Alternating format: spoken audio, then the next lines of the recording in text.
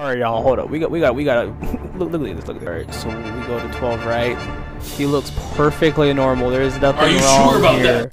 And then we go to 11.